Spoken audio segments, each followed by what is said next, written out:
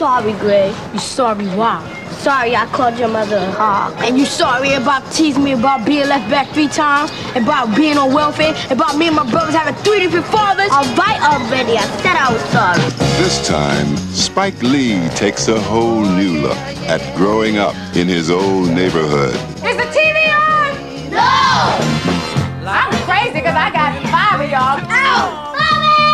Run me stark raving mad. Somebody left the toilet seat up. I almost fell in again. Shut up, you flat-chested wench. Why I gotta eat this? Black eyed peas have calcium. All the calcium in the world ain't gonna make up for this nasty taste.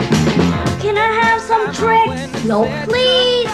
Said no, you idiot. Give it up! You know, Daddy doesn't want to fight or yell. All Daddy wants to do is play his music. In a place called Crooklyn,